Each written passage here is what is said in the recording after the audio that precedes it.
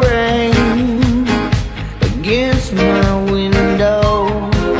So far away from all the